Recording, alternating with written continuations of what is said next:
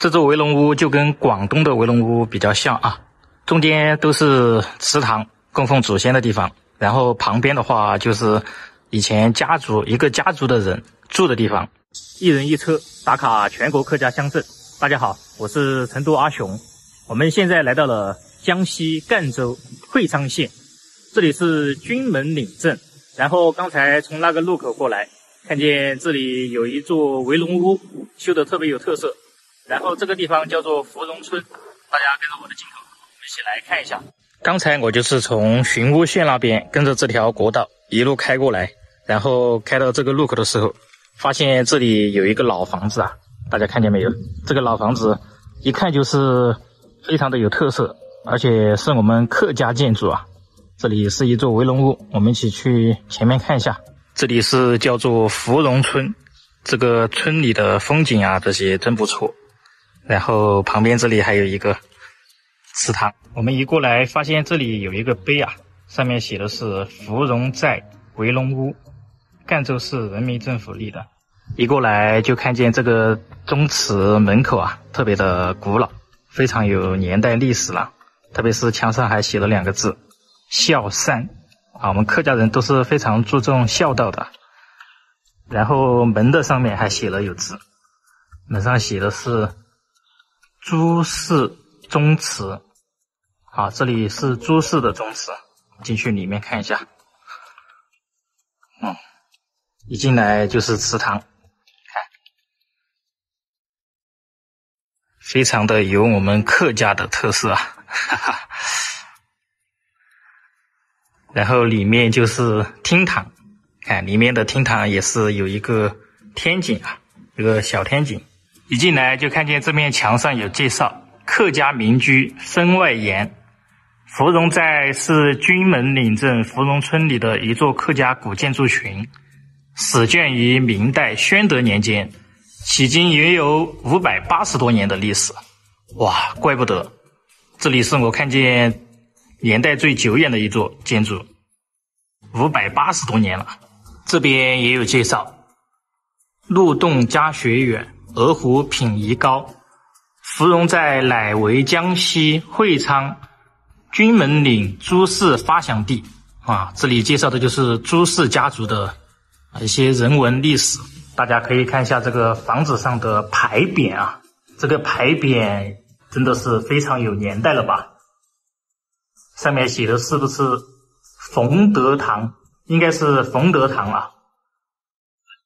这里供奉的就是祖先的牌位，朱氏家族祖先的牌位。啊，之前看过李氏啊、王氏啊、张氏等等，今天我们终于看见朱氏家族了。然后这里旁边这个神位看的就更清晰一点啊，六世祖四太朱公老大人之神位。这个宗祠五百多年。但是经历过风风雨雨嘛，也是重新修缮过。看这边写的就是公元二零零八年，然后重修芙蓉宗祠。这里是理事会成员，这边也是。从宗祠的右边这道门进来，我们就看见这里的房子啊，啊，这里已经年久失修了。大家可以看一下这里的砖，啊，这个砖就是叫做土砖，以前。老房子都是用土砖修成的，大家看一下，用泥巴修的，而且这个土砖里面还加了一些草，这样就更坚固。啊，这这个瓦也是青瓦嘛，就是一片一片的瓦，大家可以看上面的瓦，我们来看清楚。这边就是这座祠堂的左边啊，里面有很多房间，不过现在这边都没有住人了，都成危房了，哈哈，因为这个房子很多年了嘛。这也是我们客家人以前居住过的地方。这座围龙屋就跟广东的围龙屋比较像啊，中间都是祠堂，供奉祖先的地方。然后旁边的话就是以前家族一个家族的人住的地方。看这里房间都是以前朱氏家族啊住的地方。现在这里的房子都比较老了嘛，都成了危房了，所以说也不能住人了，很多老乡都搬到其他地方住去了吧。我们看这里的台阶，都是用石头修建的，用石头铺出来的。啊，这边也是围屋、围龙屋，就中间是供奉祖先的主厅，然后旁边这里就是一个家族呃居住的地方。看这个家族人丁兴旺，这里面外面还有一层，我们可以走上去看一下。哇，我们从这里上来，看见这个围龙屋的背后，这里也有一层。哇，可以想象以前朱氏家族在这边也是非常繁荣的，兴旺，家族也是非常强大。看这边也是住人的，下面这里就是宗祠，就刚才我们在里面看见的地方，大家可以看一下，这个宗祠正前方啊都是山。这边都是依山而建。阿姨你好，呃，我是外地过来这里旅游的，就这里是一个祠堂啊。这呃，两只海客家人的围屋围龙屋噶。呃，像你呢，还没搞客家话嘞？听都懂？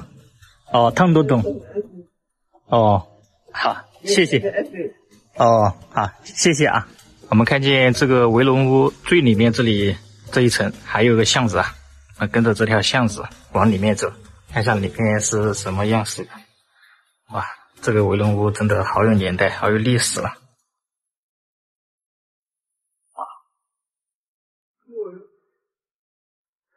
哦，这边也是房子，不过这边没怎么住人了。哦，这里，哎，叔叔你们好。哦，我是外地过来这里旅游的。哦，你们是住在这里啊？哦，对。你哦。哎呀！啊，哎，这这这要干你啊！啊，很牛。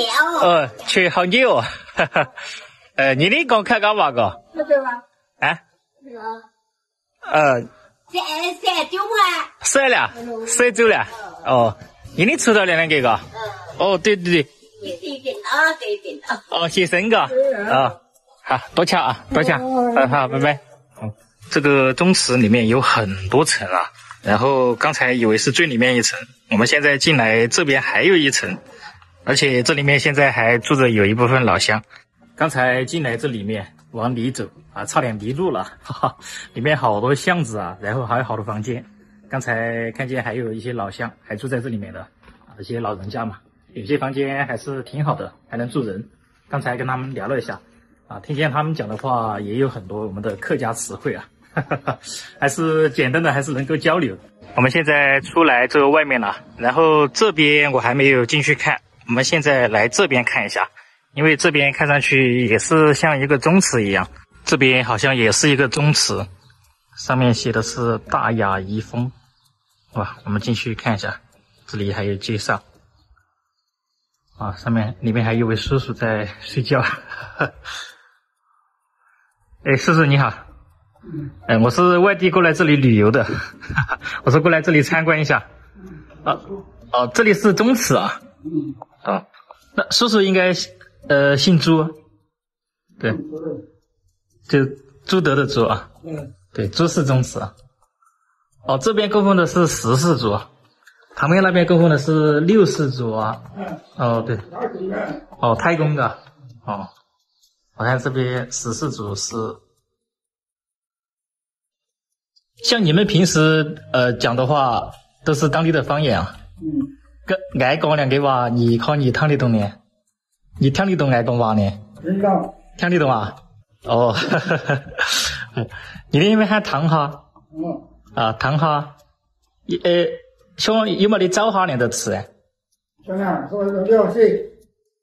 啊。说呢哈。啊，是六。嗯，现在是现在。哦，才现在。哈哈。对对对，哎，叔叔贵庚的啊？啊，贵庚？在哈巴那个。哦，在哈巴。嗯。哦，对对，你出来给哈巴给个。好，好，多谢啊。嗯嗯。哎，哈哈。旁边这个宗祠现在也算一个图书室啊，这里还放了很多书可以学习。军门岭镇福中村老年学习点，旁边这个也是宗祠。不过这里面供奉的祖先应该是比这个祖先辈分要小一点啊。刚才有位叔叔在里面休息啊，我问他是不是讲客家话，他可能不太懂。这边老年人可能对客家这两个词没有什么概念啊，就跟我们四川成都一样，成都那边的老年人只知道讲的是广东话，所以说这边的老年人他们可能也没有客家这个概念啊。所以，但是我跟他们交流，听见他们讲的话里面啊，都带来有很多的客家词汇，比如说哈包，对吧？刚才听他们说的，还有一位老年人说写生，这些都是客家的词汇。这边应该住的都是客家人啊。大家以后如果有机会逛到这里来，也可以来参观一下嘛。